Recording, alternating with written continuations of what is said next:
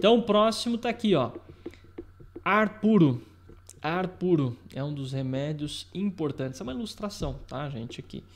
E aí, eu quero compartilhar aqui com vocês algumas imagens. Tá aqui, ó. Ó. Quando a gente fala de, de ar, temos que pensar em oxigênio. O nutriente fundamental aqui é o oxigênio. E aqui nós temos uma íris, íris direita, tá? Que ilustra, que mostra uma deficiência de oxigenação cerebral. Quem está vendo este sinal, quem teve essa percepção aqui? E falando da questão da água também, temos focos de acidez e intoxicação nesta íris. Então hoje vamos mesclar, né? falar sobre os remédios da natureza, muitos já conhecem, muitos já estão familiarizados, então vamos trazer aqui de forma prática, conciliando com a iridologia, a importância dos remédios da natureza, a relevância para a saúde da pessoa e como isso é visto, é observado dentro é, é, da iridologia, na ciência da iridologia, né? Como que nós podemos observar e entender esta questão. E aí, vocês viram algum sinal? É, tem alguns minutinhos de delay aqui, eu vou deixar aberto para vocês.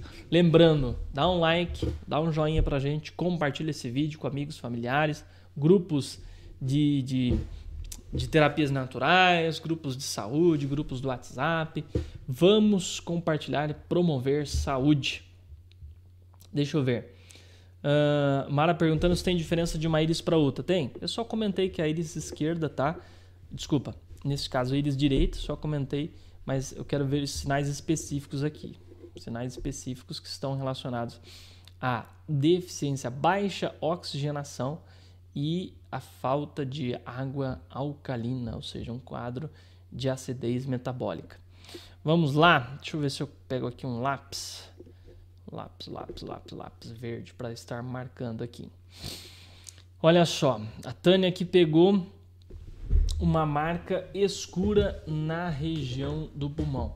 É, essas manchas aqui por si só são as chamadas psoras. Elas já indicam já são indicações né, de, de uma acidez metabólica, de uma intoxicação. Né? Então, esta daqui está na área respiratória, mas eu estou circulando as outras. Tá? É, esse esbranquiçado também né, é um, um sinal de hiperatividade e pode estar relacionado à acidez metabólica, mas o principal são as psoras aqui, ok? São focos são ímãs que puxam as toxinas. É uma íris tipo misto biliar e já tem um pouco essa tendência. Agora, em relação à falta de ar puro chegando às células, principalmente as células cerebrais, células cognitivas. Esse, esse, essa íris aqui tem um indicador de um, um envelhecimento precoce e já um início de um processo degenerativo cerebral. É um início, né? Tá, tá, tá, tá sutil. O Luciano acertou aqui. Ele tá um pouco sutil esse sinal. Foi a imagem que eu peguei aqui hoje. Deixa eu ver se eu pegar um cor azul. Cor azul. Ó, este sinal aqui em cima, esse esbranquiçado, essa nuvem esbranquiçada. Quando nós vemos este sinal somente na área superior, é chamado arco senil. Arco senil. Então é um, é um sinal de um envelhecimento precoce, má oxigenação cerebral. Tá faltando oxigênio no cérebro? Claro que isso não é uma coisa absurda, né? A ponto da pessoa ter uma paralisia, não. É, um, um, desmaio, dependendo do estágio, do, do, caso, da situação, a pessoa até pode ter é, situações de desmaio. Mas uh, não, esse caso aqui é simples e a pessoa às vezes tem a percepção na queda de rendimento, a memória já não é mais a mesma, ou até quadros degenerativos como Parkinson, Alzheimer, Então, o cérebro ele consome a maior parte do oxigênio do nosso corpo e da glicose. Ele precisa, precisa de muita energia, tem uma demanda muito grande, não pode ficar em estado de hipóxia, na falta de oxigenação. Por isso que a pessoa, ela, quando tem falta de oxigênio, desmaia, desmaia, o corpo é, é, é desliga, desconecta para ela cair no, no plano horizontal para é, renovar, renovar não para viabilizar a circulação, para melhorar a circulação cerebral. Então, o cérebro derruba a pessoa para ela ficar num plano que favoreça, que facilite a circulação para chegar oxigênio no cérebro, tá? É um sistema inteligente que nós temos no nosso corpo. Deixa eu ver. Uh, só um comentário aqui, o Adriano gostaria de passar em consultas está com dores abdominais. Ó, vou deixar anotado aqui para vocês, mas tem no na descrição do vídeo, tá? Para consultas acesse é, drfelipefelix.com.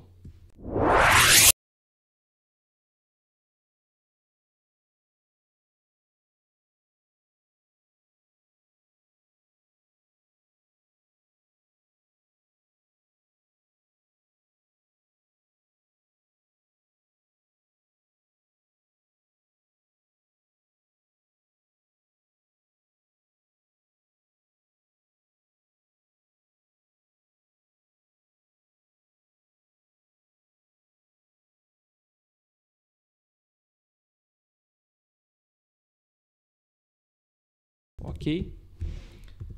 Para consulta é só acessar o site dflipefelix.com, está na descrição do vídeo. Então nós estamos conciliando aqui, ó, remédio da natureza, que faltou oxigenação, faltou ar puro, porque não é qualquer ar. Né? Se for o ar poluído, não vai resolver o problema. Falta oxigênio. O oxigênio também ele é um antídoto contra o câncer. As células cancerosas, células é, neoplásicas que sofrem a mutação, elas é, vivem um estado anaeróbico. Elas conseguem é, desenvolver um metabolismo livre de oxigênio. Por isso, nós utilizamos ozonioterapia, terapia de von Ardenne para tratamento complementar do câncer, por exemplo. Tá? Para regeneração de tecidos também, importante a oxigenação, tem a câmara hiperbárica e até as bags que nós utilizamos com ozonioterapia. Então você quer um, um oxigênio concentrado, a dose concentrada de oxigênio, você o que, que, é melhor? Um, dois ou três, né? Diz o ditado que um é bom, dois é, dois é um é pouco, dois é bom, três é demais.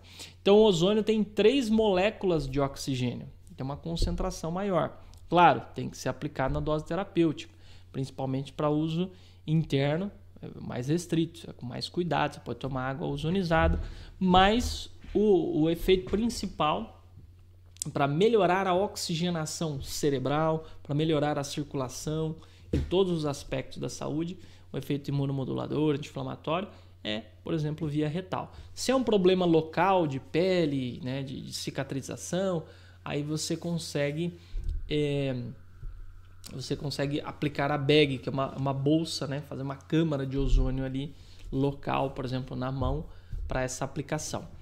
E no caso e no caso é, também podemos utilizar a hidrozonoterapia que é ozonizar a água, você aumenta o teor de oxigênio da água, essa água vai ter um efeito terapêutico maior, vai ser muito benéfico para a saúde, principalmente para a pele, né, para aplicações externas e para ingerir também.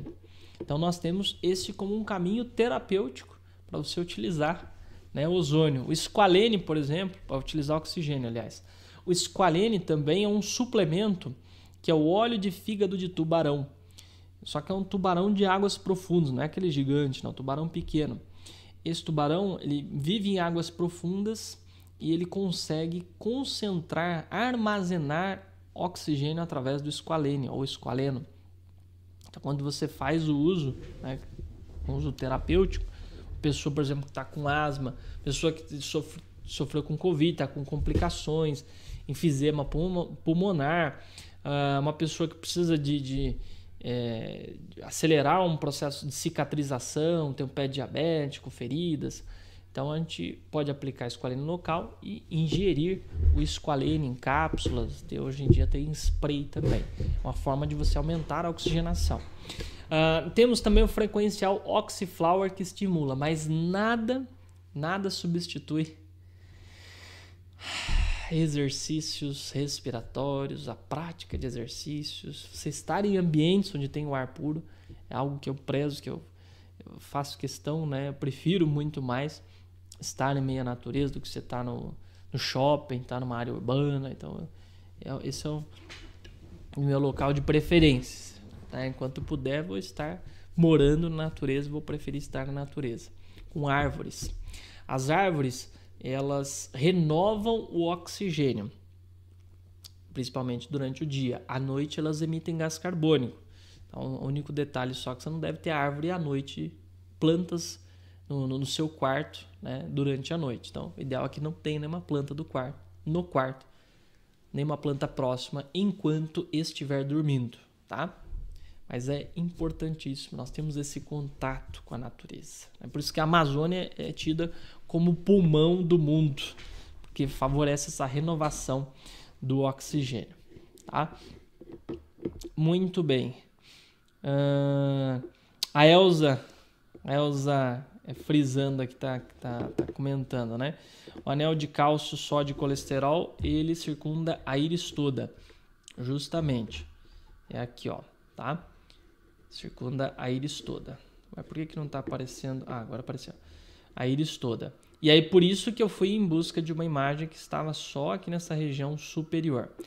É o mesmo anel de cálcio, sódio e colesterol, porém quando ele está nesta região, nós é, ele recebe o nome de arco senil.